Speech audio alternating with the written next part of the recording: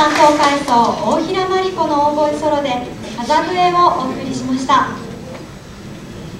続きましてもドラマのテーマ曲から2013年度 NHK 大河ドラマ「八重の桜」のメインテーマをお送りしましょう。八重の桜は福島県会津出身で同志社を創立した新島城の妻八重の生涯を描いた作品です。ちょうど本日この場に現在同志社大学吹奏楽部音楽監督で元海上自衛隊東京音楽隊長の熊崎博之さんがご来場されておりますのでこの場をお借りしましてご紹介させてい。ただきま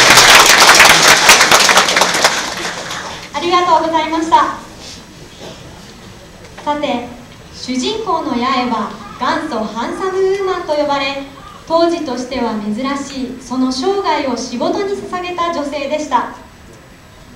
激動の時代をたくましく生き抜いた彼女の生き方に共感する方も多いのではないでしょうか。ドラマティックな旋律の中に日本の伝統美を感じさせるメインテーマは